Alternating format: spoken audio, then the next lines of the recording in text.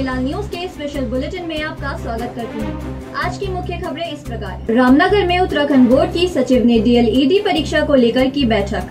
25 मई को होगी परीक्षा। श्री हेमकुंड साहिब धाम की यात्रा शुरू।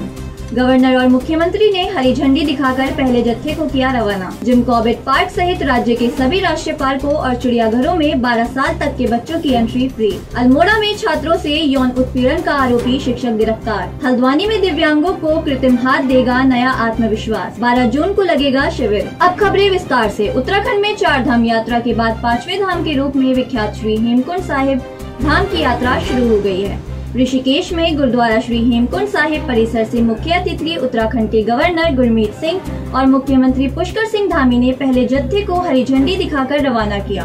इस दौरान मुख्यमंत्री ने दावा किया कि चार धाम और श्री हेमकुंड साहिब की यात्रा पर आने वाले सभी श्रद्धालुओं की सुविधा और व्यवस्था का सरकार पूरा ख्याल रखेगी। श्रद्धालु केवल यात्रा मार्ग पर जाने से पहले अपने पंजीकरण और दर्शनों के लिए स्लॉट बुक करने पर ध्यान दें। संवाददाता दीपक नारंग की रिपोर्ट.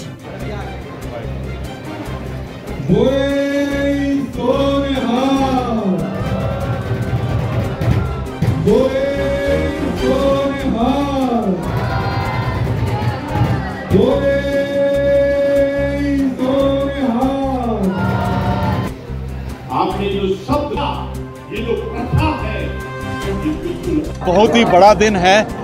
आज ऋषिकेश से गुरुद्वारा साहब से जो यात्री हैं, श्रद्धालु हैं, जो पहला जत्था है, वो हेमकुंड साहब जा रहा है। ये हम सब के लिए, पूरे उत्तराखंड के लिए बहुत सौभाग्य का दिन है, बहुत हर्ष और उल्लास का दिन है कि पहले यात्री जो हैं, वो यहाँ से जा रहे हैं।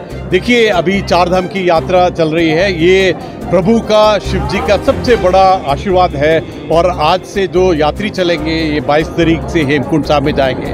और हेमकुंड साहब का जो तप भूमि है, तपस्या का जो चिन्ह है, वहाँ से जो आस्था आती है, वो पूरे देश के लिए बहुत अलग है। मैं तो कहूँगा कि हम अत्यंत खुश हैं। हर एक उत्तराखंडी बहुत ही खुश है कि हमारे घर में यात्री आए हैं। शुभ दिन है। आज से यात्रा हेमकुंड साहब के लिए प्रारंभ हो रही है और उस जत्थे को हम लोग यहाँ पर रवाना भी कर रहे हैं और आज बड़ा शुभ दिन है और मैं सभी से कहूँगा कि अभी तो यात्री लोग जा रहे हैं, जो स्वस्थ हैं, उन्हीं को यात्रा में जाना है और हम सबसे अनुरोध भी हमने किया है। और हमारे देश के प्रधानमंत्री जी, मोदी जी ने आगे निकट भविष्य में वहाँ के लिए रोपवे की जो घोषणा की है, जल्दी से जल्दी वो काम होगा। अभी लोग वहाँ पर अपने अपनी यात्रा कर रहे हैं, वो यात्रा बाई रोड हो रही है। सड़क से हो रही है पैदल हो रही है। आने वाले समय में ये यात्रा जो है रोपवे के माध्यम से भी हो पाएगी। सभी को शुभकामनाएँ। यात्री आ रहे हैं लेकिन लक्ष्मण झूला पुल बंद पड़ा है। बड़ी दिक्कत परेशानी हो रही है। यात्री और व्यापारी भी भूखमरी की कगार हैं। हमारा हैं? हमारा ये उद्देश्य है कि सभी के लिए यात्रा अच्छी हो यात्रियों के लिए भी अच्छी हो और यहाँ के जो हमारे व्यापारी बंधु भी अच्छी हो उसके लिए जो भी समुचित प्रबंध हो सकते हैं वो हम लोग कर रहे हैं देखिए जो हमारी आज की रजिस्ट्रेशन है, वो तो बहुत ज़्यादा है। लेकिन हमने क्या किया है कि आप देर हो चुकी थी और जत्थे को श्रीनगर रुकना पड़ेगा, श्रीनगर ऑलरेडी यात्री रुका हुआ है। तो हमने सांकेतिक तौर पे ढाई सौ आदमी को भेजा है। बाकी कल सुबह यहाँ से रवाना होंगे। और आज का प्रोग्राम में माननीय गवर्नर साहब, माननीय मुख्यमंत्री जी और मंत्री जी, मेयर सारे पहुँचे थे। और सबसे अच्छी बात लगी जो धार्मिक संस्थाओं के जितने हेड हैं, वो भी पहुँचे। तो एक बहुत बड़ा मैसेज पूरी दुनिया में गया है कि जो हमारा उत्तराखंड है ये देवभूमि है। कहाँ है सब लोग? शाम की चाय तो एक साथ होनी चाहिए सब लोग एक साथ बैठना ही नहीं चाहते। पापा ट्राई दिस लो सब लपक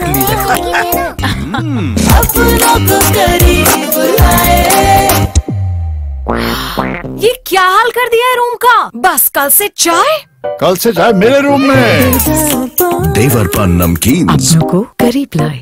नैनीताल ज़िले में आंधी तूफ़ान से हुए नुकसान के मद्देनजर उद्यान और राजस्व विभाग की टीम ने सर्वे शुरू कर दिया है।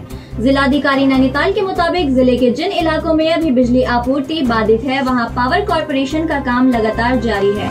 हालाँकि काफ़ी जगहों में बिजली आपूर्ति सुचारू कर दी गई है। सबसे ज़्यादा नुकसान नैनीताल ज़िले के काला ढूँगी और रामनगर क्षेत्र में हुआ है। संवाददाता सचिन गुप्ता की रिपोर्ट। इसमें ज़्यादातर नुकसान कालाडोंगी क्षेत्र में हुआ है। आपने देखा होगा कि काफ़ी पेड़ गिर गए थे और व्यक्ति की जान भी गई है उसमें। और आज हमारी रेवेन्यू की टीम कृषि विभाग की टीम, हॉर्टिकल्चर की टीम, उसके असेसमेंट के लिए यहाँ पर गई और वैसे ही रामनगर एरिया में, रामगढ़ वाले एरिया में और रामनगर एरिया में जहाँ जहाँ भी नुकसान हुआ है, सारे कर्मचारी हमारे फ़ील्ड पे जा रहे हैं और एक असेसमेंट करके वो एक दो दिन तक हमें पूरी रिपोर्ट दे देंगे कि कितना नुकसान फ़सलों में हुआ है और खेती में हुआ है। क्योंकि गिरने की वजह से काफ़ी विद्युत आपूर्ति में बाधा पहुँची। तो इसमें भी काफ़ी तो इन्होंने रेस्टोर कर दिया है। और जिन जिन जगहों पे रेस्टोरेशन के बाद परमानेंट काम होना है, वहाँ पे अभी काम चल रहा है। मौत हुई है कालाडूँगी क्षेत्र में, जहाँ पे पेड़ के गिरने की वजह से गाड़ी के ऊपर तो वो भी बजून एरिया के रहने वाले थे तो उसमें हम लोग कार्रवाई कर कृषि उत्पादन मंडी समिति जसपुर में किसानों खाद्यान्न आरतियों एवं राइस मिल एसोसिएशन पदाधिकारी मंडी समिति अध्यक्ष के नेतृत्व में बैठक का आयोजन किया गया। इस दौरान मंडी सचिव शलील अहमद ने आर ई मंडी समिति की दुकानों पर कृषि उपज खरीदने व किसानों से अपनी कृषि उपज मंडी समिति प्रांगण में लाने का अनुरोध किया। संवाददाता दीपक चौहान की रिपोर्ट। माननीय अध्यक्ष मंडी समिति जसपुर द्वारा आदेश किया गया था कि जसपुर मंडी समिति को स्थापित किया जाए।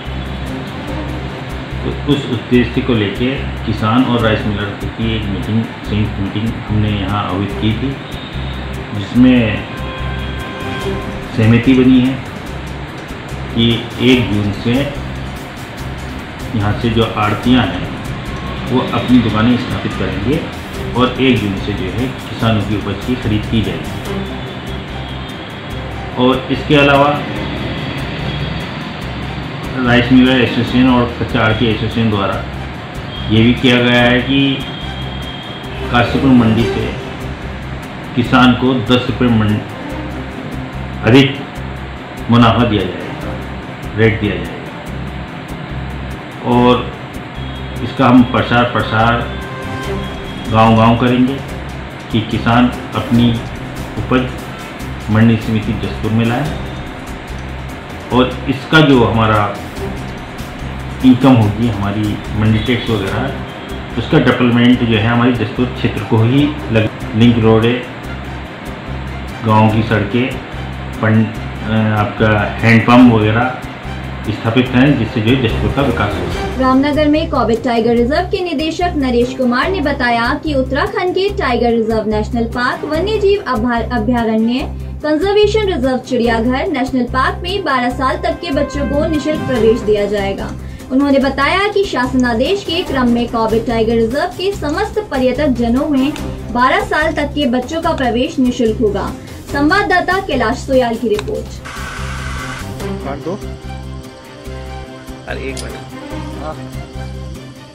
ये माननीय मुख्यमंत्री जी द्वारा घोषणा की गई थी कि 12 साल तक के बच्चों को टाइगर रिज़र्व नेशनल पार्क, चिड़ियाघर, नेचर पार्क, इनमें निशुल्क प्रवेश की मतलब अनुमति दी थी। तो उस संबंध में शासन आदेश जारी हुआ था और हमने भी अपना कार्यालय आदेश, अपने अधीनस्थ कार्यालयों को जारी किया है कि 12 साल तक के बच्चों को कॉर्बेट टाइगर रिज़र्व में निःशुल्क प्रवेश किया 12 जून को inner wheel club of Haldwani Hari Krishna foundation, Balotra Rajasthan के चेयरमैन ई एम और अमेरिका के एम्बेसडर कंदर्प सोनी के सहयोग से वृद्ध निशुल्क कृत्रिम हाथ प्रत्यारोपण शिविर का क्वींस पब्लिक स्कूल में आयोजन किया जाएगा, जिससे उन लोगों को लाभ हो सकेगा जो किसी दुर्घटनावश अपना हाथ खो चुके हैं। इनर व्हील क्लब से जुड़े सदस्यों ने बताया कि एक कृत्रिम हाथ की कीमत लगभग सोलह हज़ार रूपए है और इस हाथ को लगाने के बाद व्यक्ति समस्त दैनिक कार्य, जैसे खेल कूद साइकिल चलाना, मेहनत मजदूरी और भी बहुत से काम आसानी से कर सकता है। संवाददाता दीपक अधिकारी की रिपोर्ट। मैं दीपा तिवारी, अध्यक्ष इनरव्हील क्लब ऑफ़ हल्द्वानी हम लोग हरि कृष्णा फाउंडेशन, जिसके की ओनर जो हैं, कंदर्प सोनी जी हैं, उनके साथ मिलकर एक निशुल्क कृत्रिम हाथ प्रत्यारोपण शिविर का आयोजन कर रहे हैं 12 जून। 2022 को क्वींस पब्लिक स्कूल हल्द्वानी में। मैं Z Madhur Agarwal inner wheel club of Haldwani.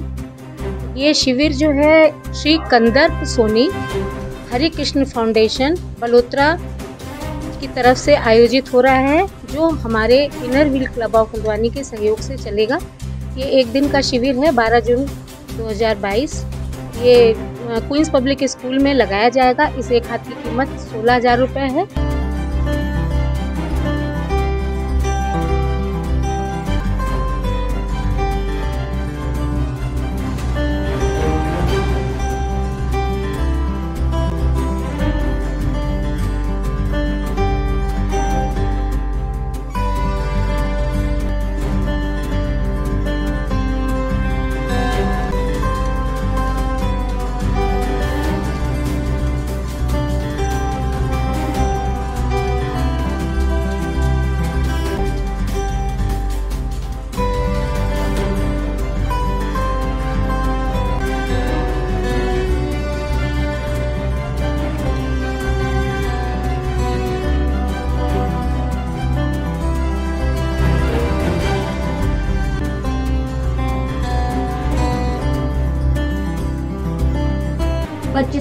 आयोजित होने वाली डीएलएड की प्रवेश परीक्षा के मद्देनजर आज उत्तराखंड विद्यालय शिक्षा परिषद बोर्ड की सचिव नीता तिवारी ने समस्त नोडल अधिकारी व केंद्र व्यवस्थापकों से, के साथ बैठक की। इस दौरान उन्होंने बताया कि डीएलएड की प्रवेश परीक्षा एक सौ इक्यावन परीक्षा केंद्रों पर होगी, जिसमें तैतीस परीक्षार्थियों ने पंजीकरण किया है। संवाददाता कैलाश सोयाल की रिपोर्ट। मॉनिटरिंग करनी है। तो तीन जांचें करनी है उसने वहाँ पे।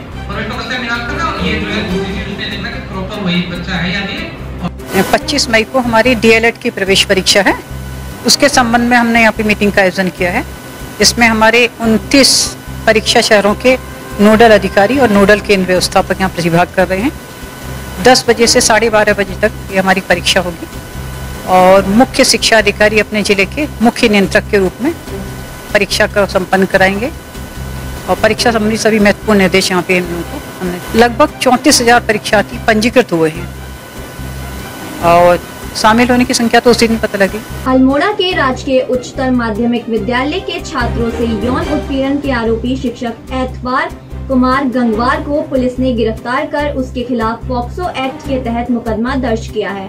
वरिष्ठ पुलिस अधीक्षक प्रदीप कुमार राय ने आरोपी को गिरफ़्तार करने वाली टीम को ढाई हज़ार का नगद इनाम की घोषणा की। संवाददाता हेमंत सिंह मेहरा की रिपोर्ट। आज के लिए बस इतना ही। उत्तराखंड की सभी खबरों से जुड़े रहने के लिए देखते रहिए सुरागीलाल न्यूज़।